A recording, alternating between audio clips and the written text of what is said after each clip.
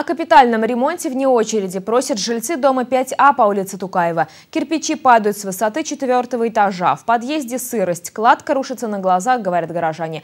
А управляющая компания только и сделала, что красно-белую ленточку повесила. Почему обошлись только этой мерой?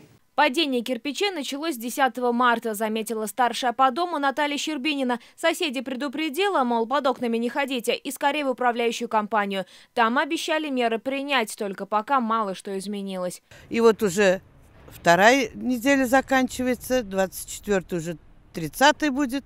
Ни телевышки, ничего, только ленточка новенькая появилась. За оградительную ленту жильцы, конечно, благодарны, только проблема-то не решена. На четвертом этаже того гляди рамы вылетит из-за трещин. Переживают горожане за соседей.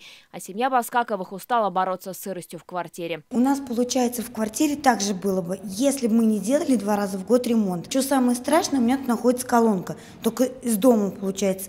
И вот это вот все, когда начинает дожди, когда вот эти э, снега тают, вот это все льется, это все льется, естественно, в дом. Дом построен в 1959 году. Капитального ремонта старожилы не припомнят. Надеются на регионального оператора, но четырехэтажка в списке на 2017 год. Кирпичи вылетают из вентканалов. От их ремонта управляющая компания не отказывается. В дом пришел в том году, им срочно понадобилось снос деревьев. И все деньги ушли у них туда.